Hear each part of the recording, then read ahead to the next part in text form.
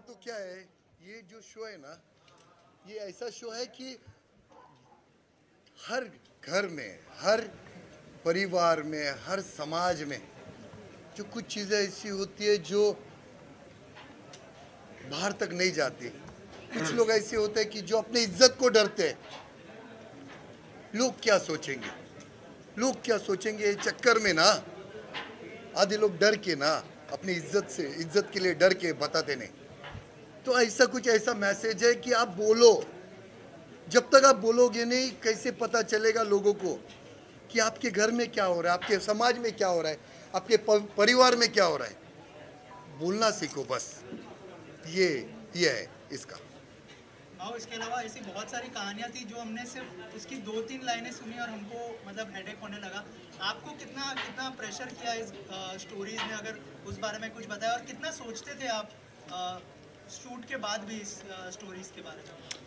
बहुत सारी ऐसी स्टोरीज आई जिसमें कभी कभी तो ऐसे आग से आँसू आ जाता था यार कि ऐसे भी लोग हैं समाज में कि एक बच्ची को, एक औरत को समझ नहीं पा रहे।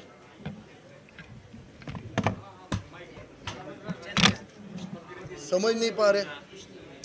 तो यार इतना भी किसी को आप उसके मजबूरी का फ़ायदा मत उठाओ यार। वो इंसान कुछ बोल नहीं पाता, इसका मतलब ये नहीं कि वो कमज़ोर है। कोई इंसान अपनी इज़्ज़त से डरता है, कोई इंसान अपने परिवार के लिए चुप बैठता है, कोई इंसान थोड़ा सा दूर रहता है ये सब चीज़ों से। मगर जिसको तुम लोग ने आज तक कमज़ोर समझा ना, उसने इतिहास बनाया है। तो किसी को कमज़ोर मत समझो कभी। ऐसा है। आपने एक जगह लगा दिया है। तो मैंने देखा है तो कितना ज़ोर का लगाया उसको। अगर मेरे जगह पे ना और कोई रहता और वो इंसान जो जो इंसान ने वो कुछ किया वो चीज़ अगर यहाँ पे आम इंसान भी अगर सुनता ना तो आप भी उस पर ऊपर हाथ उठा देते कुछ चीज़ें ऐसी है उसमें जिसके वजह से थोड़ा गुस्सा होता है ना ऐसा है? जो आप लोगों को नहीं आता है ना, आपको भी आना चाहिए। जब आपके सामने, आपके आँखों के सामने अगर किसी बहन बेटी को कोई छेड़ रहा है, किसी बहन बेटी को कोई गलत कर रहा है, किसी बेगुनाह को कोई तकलीफ़ दे रहा है तो आपका भी फ़र्ज़ बनता है कि वहाँ खड़ा रह के ना कैमरा नहीं चलाने का, उसको खड़ा रह के कान के नीचे देने का। तभी मेरे को गुस्सा आता है और मैं तब फाइनल करता हूँ। आप लोग भी करो ना यार। क्या है, मालूम है आप लोग क्यों नहीं करते? क्योंकि आपके घर तक नहीं आया ना। आपको कब एहसास होगा? जब आपके घर में किसी बहन बेटी के साथ होगा ना, तब आप बोलेंगे, साला, बताऊँगा। मगर आपके बाजू वाले के साथ हो रहा है ना तो आप बोलेंगे, हमको क्या करना है? ये हमको क्या करने में ना, आधे लोगों की ज़िंदगी बर्बाद हो गई। तो ऐसा मत करो। गलत का विरोध खुलकर कीजिए। फिर वो राजनीति हो या समाज इतिहास आवाज़ उठाने वालों का लिखा जाता है। तलवे चाटने वाले भड़वों का नहीं। लेकिन आपको नहीं लगता है अ, कुछ लोग जो है हमारे लॉ सिस्टम की वजह से बैक बैक स्टेप हो जाते हैं यू नो और, और और इसी इसी वजह से लोग आवाज़ नहीं उठाते चाहे वो फैमिली इश्यूज़ हो चाहे वो रास्ते पर सड़क पर कोई लड़की के ऊपर उंगली उठाना हो और लोगों को यू नो बोलना हो लड़कियों के ऊपर। लॉ सिस्टम की वजह से लोग पीछे हट जाते हैं? नहीं क्या है ना? पहला चलता था ये, पहले चलता था। मगर जब से सोशल मीडिया आई है ना, सोशल मीडिया आई है और आज का जो यूथ है ना, उसके पास अगर ये चीज़ पहुँच जाती है ना, किसी किसी बेगुनाह को, किसी बहन बेटी को अगर कोई तकलीफ़ दे रहा है और वो वीडियो पहुँच जाता है ना, वो कंफर्म है कि जिसने भी वो तकलीफ़ दिया, उसके पिछवाड़े में झाड़ू डाल के उसको मोर बनाया जाता है अभी। अपना कानून अभी कानून पहला चलता था अभी वो कानून नहीं रहा। कानून के ऊपर क्यों उंगली बताते रहे? जो ऊपर वो बड़े बड़े नेता बैठे ना बड़े बड़े वो क्या बिजनेसमैन बड़े बड़े लोग बैठे ना उनके ऊपर आप लोग उंगली उठाओ। ये पुलिस वालों के ऊपर नहीं बताने का वो पुलिस के वजह से वो पुलिस के वो पुलिस के वजह से आज अपनी बहन बेटियाँ ना रास्ते पे ना बिंदास घूमता है। उन अपना जो त्यौहार बनता है ना वो पुलिस वालों के वजह से बनता है। वो पुलिस वाले को पूछ लेना माँ का उसका अगर मैयत होता है ना उसको छुट्टी नहीं मिलता है। बेटी का बेटी के साथ कभी दिवाली मनाया कभी होली बनाया पूछ लेना उसको। ये बात आपकी मानती हूँ हाँ। लेकिन आपको कहीं ना कहीं ये नहीं लगता सोशल मीडिया इतना स्ट्रॉन्ग होने की वजह से थोड़ा लॉ में प्रेशर पड़ा है। हाँ पढ़ा है ना वही तो बोल रहा हूँ। पहला नहीं था पहले चलता था कुछ भी करो ऊपर से एक बिजनेसमैन या पॉलिटिक्स फ़ोन करता था ना मेरा आदमी है कुछ नहीं करने का। तब चलता था अभी नहीं चलता है अभी नहीं चलता है। और उनका भी क्या क्या गलती है? आप देखो कितने सारे वो ऑफिसर अभी बेचारे जेल में सड़ रहे किसका सुनते हैं? बड़े बड़े मिनिस्टरों का सुन के सड़ रहे उन्होंने तो नहीं सोचा था मगर क्या करे? ऊपर से प्रेशर आता है करना पड़ेगा तू नहीं करेगा तो दूसरे को किसको बोलेगा? सड़ रहे अन रहे आज आज पछतावा हो रहा है उनको। मगर एक इंसान के लिए सारे डिपार्टमेंट को गलत नहीं बोलने। आप के रोल मॉडल हैं। आपने चमाड़ बजा दी आपको जो चाहने वाले हैं अगर वो भी इस तरह से करने लगे तो आपको नहीं लगता कि हिंसा बढ़ जाएगी? मैं उनको सैल्यूट करेगा। मैं उनको सैल्यूट करेगा। अगर गलत हो रहा है और वहाँ जाके आप अंधा बन के खड़े रहोगे ना तो फिर आप गलत है। आप गलत हो रहे हैं वहाँ पे कान के नीचे दोगे ना तो उसके साथ मैं भी खड़ा रहेगा। आपको नहीं लगता देश का लॉ अरे, बयान के बाद कैसा केस होएगा? अगर मेरी बहन बेटी को कोई रास्ते में उसका साड़ी खींच रहा है, उसको बाल खींच रहा है, उसको अगर आप प्रोटेक्ट कर रहे हो, उसका साथ दे रहे हो तो इसमें लॉ कौन सा बिगाड़ दिया मैंने? हाँ?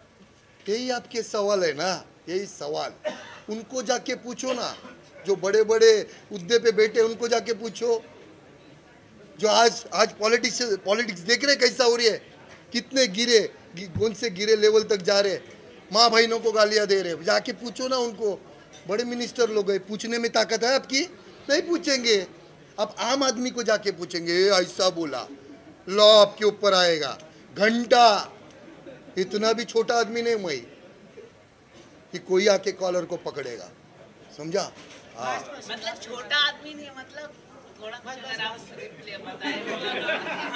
तेरी जो मैं मारता हूँ ना, हर हर ये होने के बाद वो है मैं। हाँ समझता है तू कि मैं क्या बोलना चाहता है, फिर भी मेरे को उंगली करेगा तो फिर मैं चार आदमी में तेरी भी लेगा ना। हाँ ऐसा है। ओके?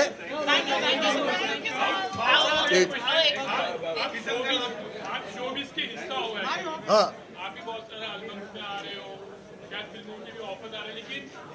आप जो यहाँ जो इंडस्ट्री है उसको बहुत ज़्यादा पसंद भी नहीं करते। मे भी उनकी जो उनका जो स्टाइल ऑफ़ लिविंग है जो कुछ भी होगा। तो आपको लगता है नहीं कि फिर आप थोड़ा you know, अगर काम चाहिए तो काम पे इफ़ेक्ट होगा अगर देखो करना है हाँ मैं समझ रहा आपकी भावनाओं को कि आप क्या बोलना चाहते हैं।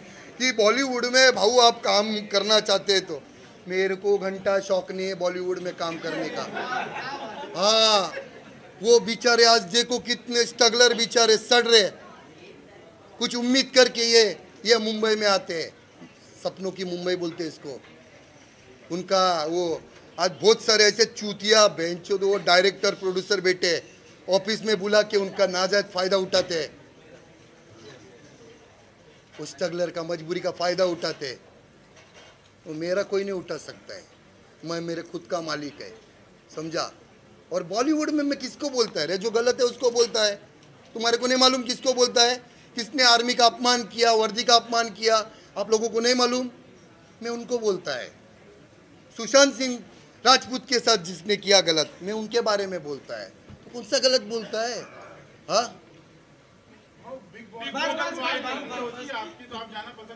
नहीं जाएगा अभी अभी नहीं जाएगा, मगर जाने वाली में आपको पता चलेगा किधर तो जाने वाला है। हाँ? चलो भाई, जय श्री राम, जय श्री राम। पहले शो बहुत इंटरेस्टिंग लग रहा है, मुझे लग रहा है बहुत सारा यूथ भी कनेक्ट करेगा इस शो से। थोड़ा सा बताइए एज अ हेड क्या थॉट प्रोसेस था ये शो बनाने के पीछे? क्योंकि हमने किंग देखा, एकदम अलग जॉनर का, और अब अनसुनी एकदम अलग जॉनर क्या कहना एज अ कंटेंट हेड क्या क्या थॉट प्रोसेस जैसे कि मैंने कहा कि इतने सारे शोज़ आ रहे हैं नॉन फिक्शन के बट अनसुनी मेरे हिसाब से तो बिल्कुल ही यूनिक है। किंग में फिर भी सिमिलैरिटीज़ लोगों ने ड्रॉ करा है स्प्लिट्स विला और अभी टेम्पटेशन आइलैंड आया जो है। बट अनसुनी मैं बोल रही हूँ कि कॉन्सेप्ट एक था बट जब हमने भाव को सोचा तो हमने उसको सौ गुना और ऊपर ले गए। तो इसका पूरा श्रेय मैं हमेशा भाव को ही देती हूँ। डेफिनेटली uh, अपने आप को और विभू जी को देती हूँ कि हमने काफ़ी ब्रेन रैक करके उनको लाया बिकॉज़ जैसा जैसे कि वो लेडी ने पूछा था कि वो डेयरिंग होता है ना कि उनके आँख में देख के उनको बोल सकते हैं कि आपको शूट पे आना है रोज़ सुबह उठ के। बट जब प्रॉब्लम्स आई, जैसे उन्होंने बताया, वो रिक्शा वाली स्टोरी तो मैं हर बार प्रोमो देखती हूँ मतलब मैं, मैंने काटा उस प्रोमो को बट हर बार मैं देखती हूँ, मेरे एक लंप इन द थ्रोट आ जाते कि यार, कैसे उसके बेटे ने करा होगा। तो वही चीज़ है कि लोगों को बहुत कनेक्ट मिलेगा। जब वो थोड़े से रूट भी होते हैं तो एक तरफ़ से मतलब जो जनता कंप्लेन करने आती है ना, उन लोग के लिए जस्टिस है। लोग जस्टिस के लिए आते हैं, कोई यहाँ पे वार्तालाप करने नहीं कि अच्छा ये हुआ अच्छा जैसे हम नॉर्मल कॉन्वर्सेशन में करते हैं। तो मुझे वो बात अच्छी लगी कि एक क्लोजर मिल रहा है स्टोरी को बिकॉज़ ऑफ़ भाव। तो ये कैरेक्टर ड्रिवन है।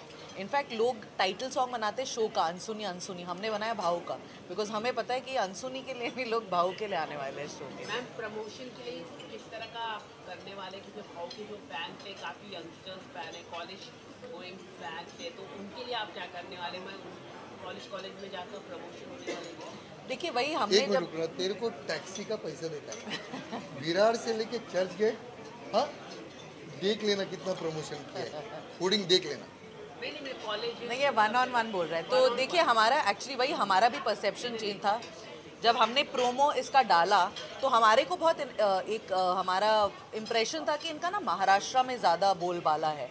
बट हम इतने शौक हुए जब हमें नॉर्थ से ऐसे रिस्पॉन्स मिले तो प्रमोशन हर बार फेजेज में होता है। इनफैक्ट मैंने और विभू जी ने वही डिस्कस करा कि जो हम जो महाराष्ट्र सेंट्रिक रख रहे थे, वो अब हम शायद थोड़ा ऑल ओवर इंडिया कर देंगे। डेफिनेटली यूथ पे भी जाएँगे। बट यूथ से ज़्यादा मुझे लगता है हमारा यूथ सेंट्रिक शो नहीं है, जो हमारा किंग था। ये पैन है। अगर आप देखेंगे, एक 80 साल के बुढ़े भी आए हुए हैं, एक 12 साल की लड़की भी आई हुई अपना प्रॉब्लम बताने। तो डेफिनेटली इसमें बहुत सोच के, जैसे हमने कॉन्सेप्ट बनाया प्रमोशन प्लान करना पड़ेगा। बट आउटडोर प्रमोशन तो आई थिंक मैंने इतने प्लेटफॉर्म्स और इतने शोज़ का देखा है, वो है ही नहीं। क्योंकि सबने भाव को एक अलग अवतार में अपने पाम पे देखा है। अब उनको मैं तो वही सोच रही थी कि मैंने कभी बाबा को बदलने का टाइम आ गया। बासु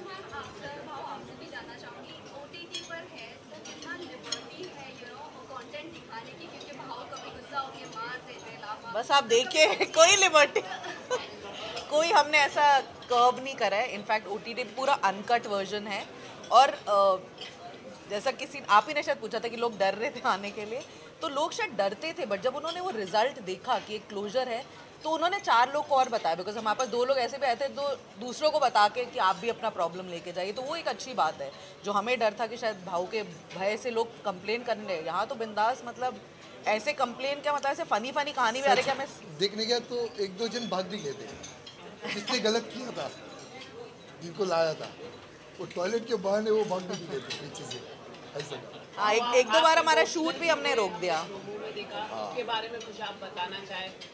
काफ़ी इमोशनल हुए आप इमोशनल होते नहीं आप? इमोशनल तब होता है ना कि जब वो आँखों के सामने आप देखे हो कि ये कितनी कितना बुरा किसी के साथ हुआ है और वो अपने उसकी आँखों में वो पानी भरा है और वो अपनी तकलीफें बता रहा है। यानी वो कितने टाइम तक उसने वो चीज़ बर्दाश्त की होगी? कितना टाइम वो घुट घुट तक दिया होगा। फिर वो आपको वो, जब वो अपने तरीके से वो बताता है ना तो इंसान वो फिर